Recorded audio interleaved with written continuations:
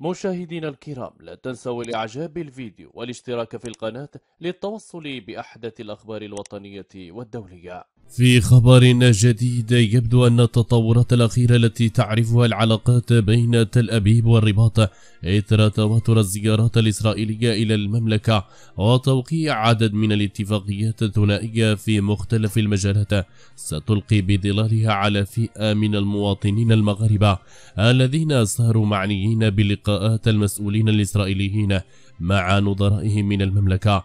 آخرها اللقاء الذي جمع وزير الداخلية والصحة الإسرائيلية موشي أربيلة مع كل من وزير الداخلية عبد الوافي الفتيت وخالد أيت الطالب وزير الصحة والحماية الاجتماعية. وفي هذا الصدد كشفت صحيفة يدعو تحرنوت الإسرائيلية أن لقاءات أربيل مع المسؤولين المغاربة تناولت مسألة تشجيع استخدام العمالة المغربية إلى إسرائيل خاصة في قطاعي البناء والصحة. وأضاف المصدر عينها أن الفتيت وأربيل اتفقا على ضرورة التعجيل بإعداد اتفاقية ثنائية بين البلدين وتشكيل فريق عمل مشترك لتتبعها.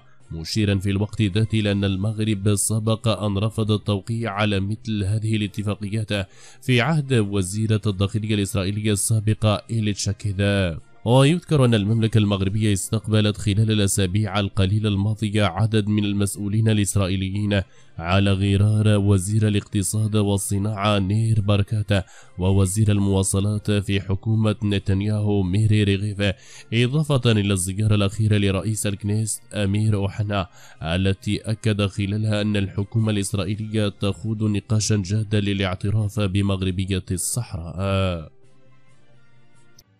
نشكركم على حسن المتابعة. إلى اللقاء.